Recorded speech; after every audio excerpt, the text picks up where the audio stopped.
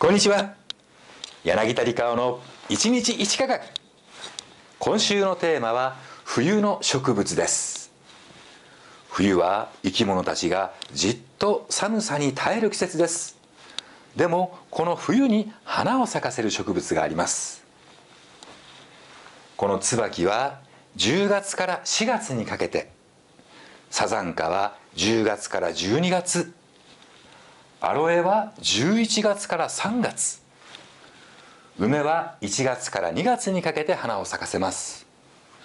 すると不思議ではないでしょうか。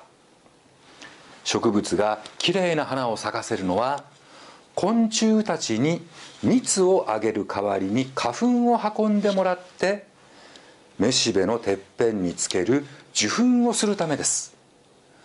昆虫がいない冬に花を咲かせてどうやって受粉するのでしょうか？実は昆虫以外にも花粉を運んでくれる生き物がいます。それは小鳥です。ウグイスやヒヨドリなどは冬の間もこれらの花々の間を飛び交って蜜を吸う代わりに花粉を運びます。昔から日本には梅にウグイスという言葉があって絵もたくさん描かれてきました。そのウグイスは梅の花の蜜を吸いに来ていたんですね。今日の一日石科学。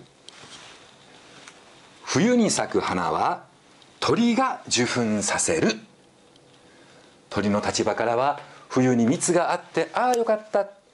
花の立場からは冬に花粉を運んでもらえてラッキー。というわけですね。また明日。